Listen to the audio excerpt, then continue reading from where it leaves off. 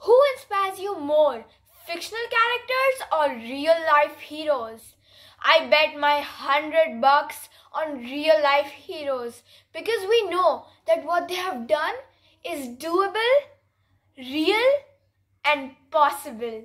So, in this video, I'm going to share two of the most inspirational books I have ever read. So, stay tuned. Hi everyone. The two books which I'm talking about are When I Grow Up, I Want to Be Book 1 and its sequel, Book 2. These books have fantastic stories about real life Indians who have faced adversities and have achieved their dreams. And these books are by Tweak India, which is an initiative by the very accomplished author Twinkle Khanna. The 40 people in these books have courage, determination, diligence, and inspire both children and adults alike.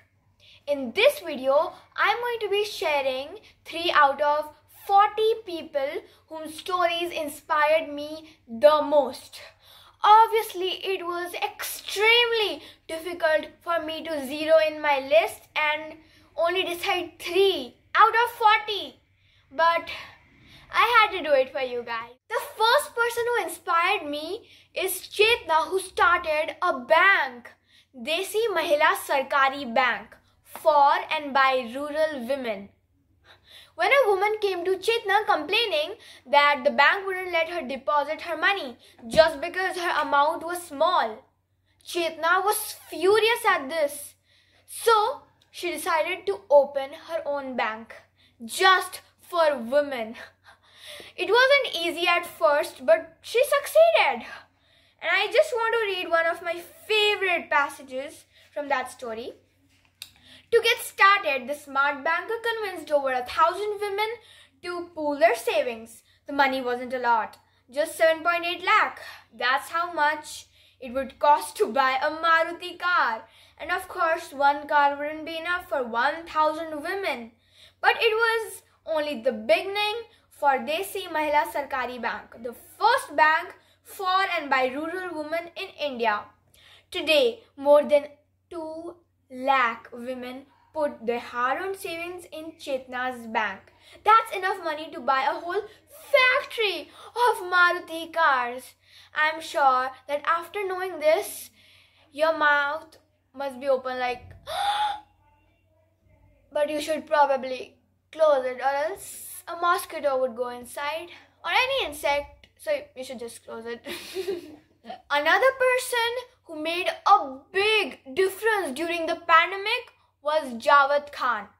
Javed Khan was a normal auto rickshaw driver who turned his auto rickshaw into an ambulance.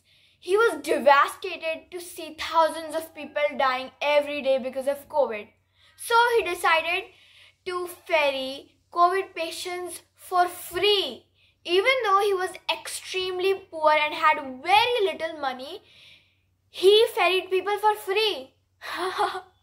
I'm not sure many of us could do that. The third person is Dr. Supraja who has saved 18 lakh sea turtles. 18 lakh sea turtles. When Supraja was small, she saw a turtle dying and she was sad that she could do nothing to save it. When she told people, they just said that it was common and it happened every day. But Supraja wanted to save those turtles.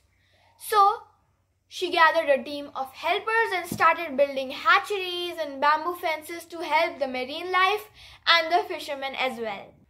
So I hope that these three stories inspired you enough to go and grab these two books.